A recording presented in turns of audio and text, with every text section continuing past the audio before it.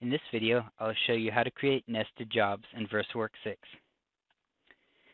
This can be a valuable tool in grouping multiple graphics to treat as one consistent print job. To get started, hold the Control key on your keyboard and select multiple graphics in which you look, wish to nest.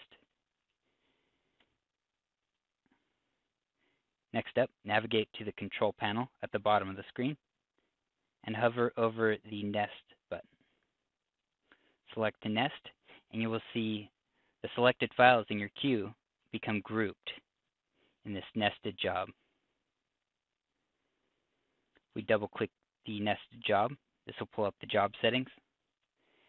Now we will have three separate graphics, both, both with their individual characteristics. So within this, we can resize specific graphics. We can orient them independently. And we can even create multiple copies. So now I will stack these in and demonstrate some of this functionality.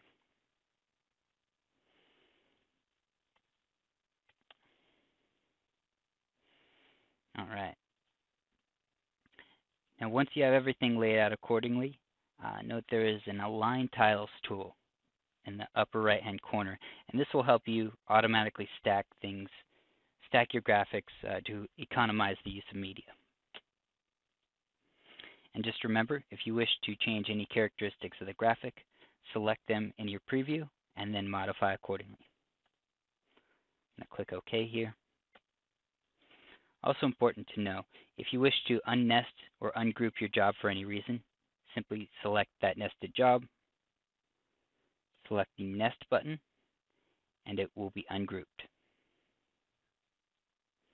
Note that the nesting feature can also be found by right-clicking the selected items or from the Job tab up top.